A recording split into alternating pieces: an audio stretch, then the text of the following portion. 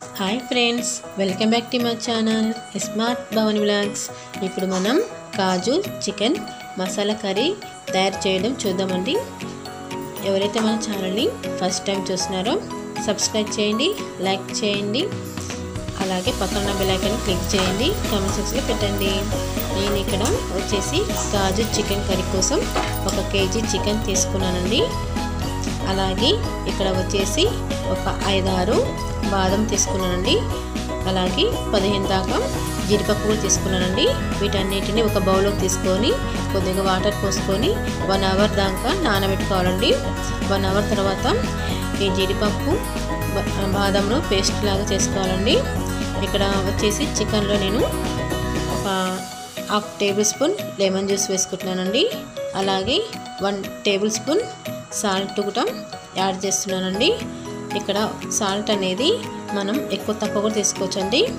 ఈ lemon juice salt అనేది ఈ చికెన్ ముక్కలకు బాగా పట్టేటట్టు మనం బాగా కలుపుకోవాలండి.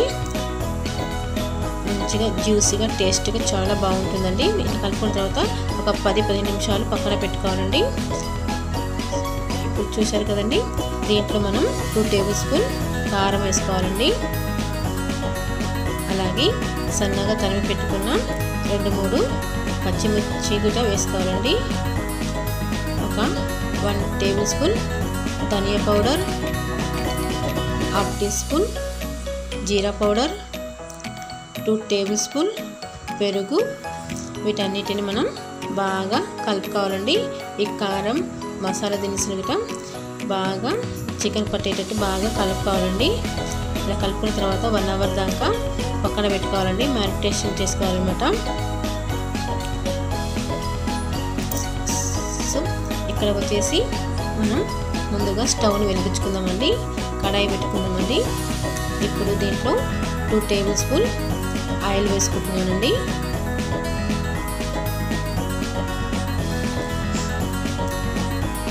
సో చూసానండి ఆయిల్ కొద్దిగా వేడెక్కాలండి. వేడెక్కిన తర్వాత నేను ఇక్కడ వచ్చేసి రెండు బిర్యానీ ఆకులు మూడు నాలుగు దాల్చిన చెక్క ఒక ఐదారు లవంగ ఒక నాలుగు ఇలాచి కొద్దిగా సాజీరా తీసుకున్నానండి. బిర్యానీ ఆకు వేసుకోవాలి మిగతా మసాలా దినుసుట వేసుకోవాలండి మనం. వీటిని ఒకసారి మనం బాగా కలుపుకోవాలండి. కొంచెం వేగనిచ్చుకుందామండి మనం.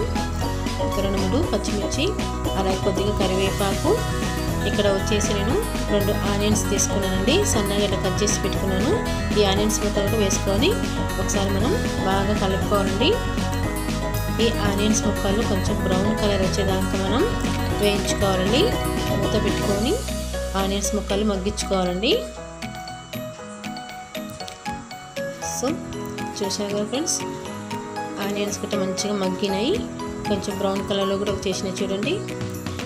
అలాగే దీంట్లో కొద్దిగా హాఫ్ టీ స్పూన్ పసుపు వేసుకుందామండి. ఒకసారి కలుపుకుందామండి మనం. మనం ఏదైతే మనం చికెన్ని వన్ అవర్ దాకా నానబెట్టుకొని ఉంచుకున్నామో ఆ చికెన్ అనేది మనం దీంట్లో వేసుకొని కలుపుకుందామండి ఒకసారి. ఈ చికెన్ అనేది ఆయిల్లో బాగా ఫ్రై అవ్వాలండి. మూత చికెన్ మీద మూత పెట్టుకొని బాగా ఉడికించుకోవాలండి. చికెన్లో మనకు ఏదైతే వాటర్ ఉంటాయో ఆ వాటర్ అనేది బాగా ఇంకిపోవాలన్నమాట. సో చూసాగా ఫ్రెండ్స్? చికెన్ గటం నేను చక్కగా మంచిగా ఉడికింది చూడండి. బాగా మగ్గిపోయిందండి.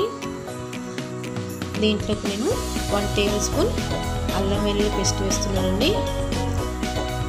ఈ అల్లం వెల్లుల్లి పేస్ట్ అనేది పచ్చివాసన పోయేదాకా ఇలా బాగా కలుపుకోవాలన్నమాట. మనం ఏదైతే మనం వన్ అవర్ దాకా కాజు అనే కాజు నానబెట్టుకున్నామో ఆ పేస్ట్ అనేది మనం దీంట్లో యాడ్ చేసుకోవాలండి. ఒకసారి మనం కలుపుకుందామండి. పేస్ట్ అనేది దీంట్లో వేసుకొని ఒకసారి మనం బాగా కలుపుకోవాలండి అవసరమైతే కొద్దిగా వాటర్ కూడా పోసుకోవచ్చు అండి వాటర్ పోసుకున్న తర్వాత ఒకసారి మనం కలుపుకున్నామండి ఇలా కలుపుకొని ఒక నిమిషం పాటు మనం మూత పెట్టుకొని ఉడికించుకోవాలండి. సిమ్లో పెట్టుకొని ఒక ఒక ఐదు ఆరు నిమిషాలు ఉడికించుకుందామండి. సో చూసారా ఫ్రెండ్స్? చికెన్ మంచిగా దగ్గరికి అయింది. గ్రేవీ లాగైందండి ఇందులో నేను ఒక tablespoon one tablespoon garam masala వేసుకున్నానండి. అలాగే సన్నగా కట్ చేసి పెట్టుకున్న కొత్తిమీర కూడా వేసుకుంటున్నానండి. ఒకసారి కలుపుకుందామండి. సో చూసారా friends? Kaju chicken masala curry ready అయిపోయిందండి. ఇది చాలా టేస్టీగా ఉంటుంది. ఒకసారి మీరు కూడా ట్రై చేసి చూడండి. మీకు కూడా తప్పకుండా నచ్చుతుంది. ఈ వీడియో కనుక మీకు నచ్చినట్లయితే సబ్స్క్రైబ్ చేయండి లైక్ చేయండి షేర్ చేయండి. కామెంట్ సెక్షన్లో పెట్టండి.